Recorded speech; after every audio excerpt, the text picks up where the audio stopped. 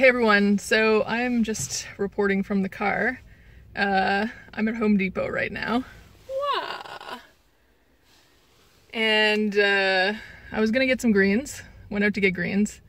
Got some uh, stuff from Michael's over here. Um, went out to get greens, got some stuff from Michael's. Couldn't find greens because they're super expensive. So ended up getting that bad boy. Um, it's like a $30 tree from Home Depot. Um, surprisingly, the cheaper option. So here we are. Uh, and I'm gonna put it into a pot outside of the door and I'm going to decorate it. We have some, you know, lower quality decorations that I don't really like putting on the main tree because they're just lower quality, but I think they will look cute outside. Don't have any more lights now that I think of it. And maybe I should get more lights. Maybe I should get more lights. You know what? I'm just gonna decorate it the way it is. I think I have enough for, or two things I wanna do. I wanna wrap the stairway up the banister with the red ribbon. And then I also would like to make a gigantic bow for the top of this tree, I think. So I think I have enough materials for that. I'm gonna make a little garland with some bells and some jute and that'll go on this tree as well because I think there are enough lights on the porch anyway, whatever. So, okay, I think that's the plan and I will see you at home.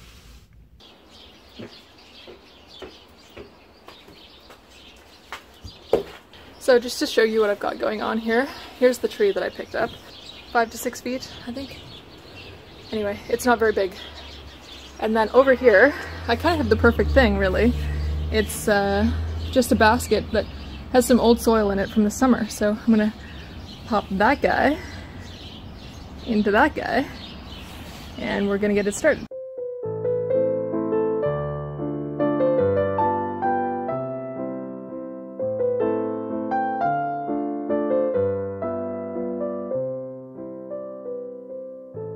Okay, so like the next thing I need to do is see what this tree looks like because I didn't unwrap it because I don't really care because I think every tree has its own character, you know? And uh, we'll see what this one's is. Hopefully it'll stand up in the wind, I think it will. Might put some rocks down at the bottom. Anyway, let's unwrap it, see what it is.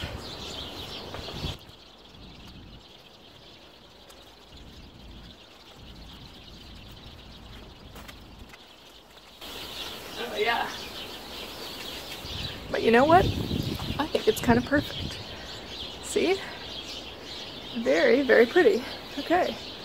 I think we chose the right one, even though it's needles all over the place.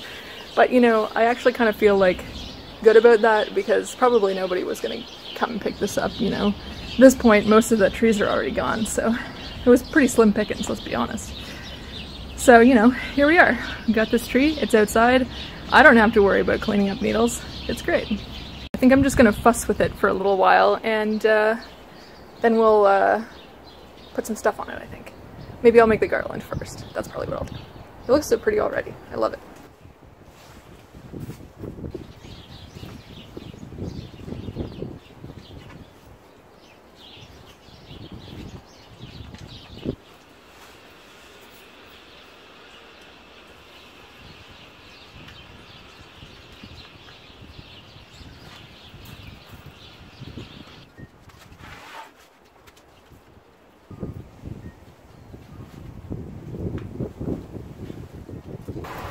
Alright, sorry if you can't hear me very well. There's a truck that's uh, sucking some sewage up through the center of the road right now. Anyway, so this is what we've got so far, and I think it's looking pretty cute.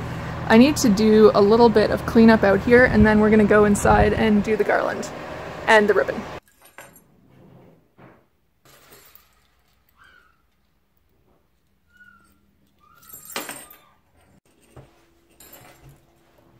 Alright, so this is finally done. It took a really long time. The jute was horrible to work with. I don't know if I would recommend doing this myself again.